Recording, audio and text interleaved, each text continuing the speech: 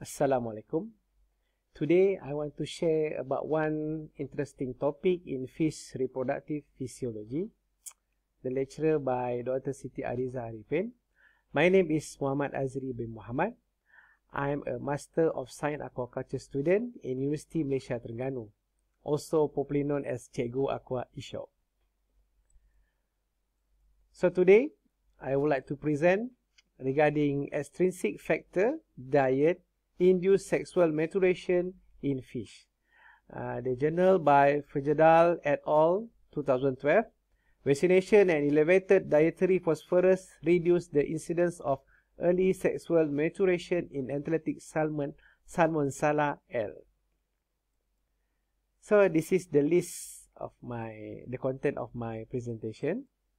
So I would like to go to the introduction. Early sexual maturation in the Atlantic salmon farming, early unwanted sexual maturation that can that can compromise health, disturbing the maintaining physiological homeostasis, and also lead uh, aggressive behavior in the Atlantic salmon. Phosphorus is an essential nutrient that have a metabolic rule uh, that can uh, constitute of the bone, scale, ATP, cell membrane, and nucleic acid. Low level of phosphorus can increase the whole body lipid, which increase the incidence of unwanted early sexual maturation in Atlantic salmon. Vaccine in salmon farming will grow to the present size that reduce the use the use amount of antibiotic use and also improve survival rate during on growth in the seawater. And the, the, the dietary phosphorus level plus vaccination has never been studied. That's the issue.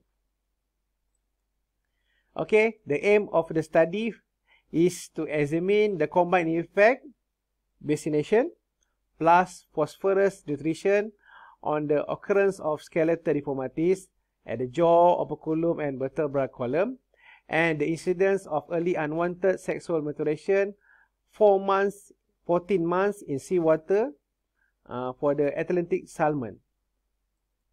Okay.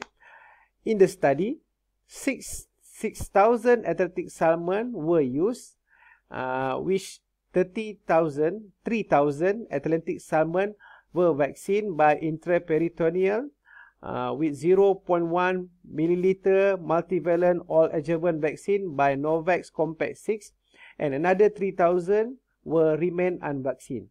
So to to different between the vaccine, the unvaccinated fish, uh, adipose adipose feed were removed.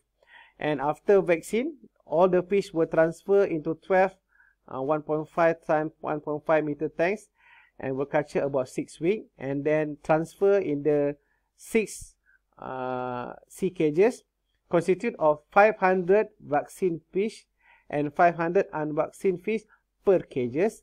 And then uh, were fed 3 months using the 0.6 and 0.9 phosphorus diet. Uh, content of 6 gram and 9 gram per 1 kilo dry feed. And then for uh, another 11 months were fed with the common commercial diet and the total of the experiment were 14 months.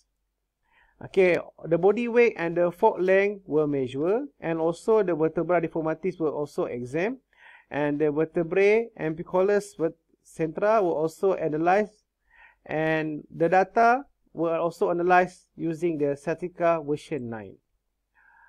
The result significantly mentioned that both vaccination and 0.5 phosphorus diet significantly reduced the incidence of unwanted sexual maturation in Atlantic salmon, which means that the vaccine significantly reduced incidence of mature female. Meanwhile, 0.9 diet significantly reduced the incidence of mature male. So the fish fed with a 0.6 uh, phosphorus diet significantly lower mechanical stiffness on the vertebral, vertebral bodies than the fish fed 0.9 phosphorus diet. Also, in the result mentioned, no effect vaccination on the stiffness and no dietary or vaccination effect on the occurrence of externally, externally detectable skeletal deformities. And for discussion, it's also mentioned that insufficient dietary phosphorus can increase the risk of vertebral, vertebral deformities and downgrade Atlantic salmon during the harvest time. And newly seawater under yearling smolt should be fed at least with 0.6 uh, phosphorus diet. And unvaccinated, unvaccinated fish were bigger than vaccine fish regarding to the growth retarding effect of vaccination. And also there are more side effects of the interperitoneal vaccine that reduce harvest weight and also abdominal lesion.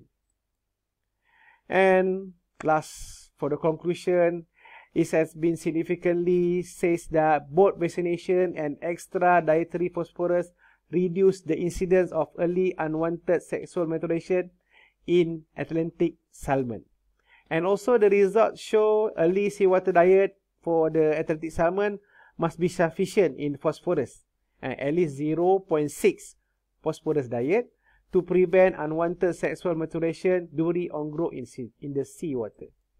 This is the journal that I use. Okay, thank you. That's all. Until we meet again. Assalamualaikum warahmatullahi wabarakatuh. Peace yo.